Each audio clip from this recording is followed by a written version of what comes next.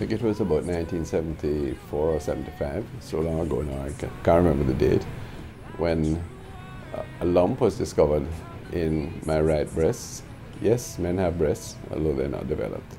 I went to the doctor and he prescribed surgery and I had my breast removed.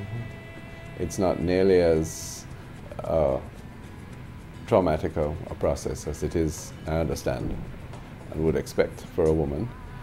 And thank God since then, there's been no relapse or any, any sequelae. Men and women can help each other, particularly if they're in love, because they are quick to notice uh, lumps, uh, protrusions of one sort or another. Um, and so there's nothing to be ashamed and there's nothing to be frightened. The real distress comes if you ignore the practice of observation and if you observe that something is unusual, we are fortunate in Jamaica that there's ready medical attention for everyone.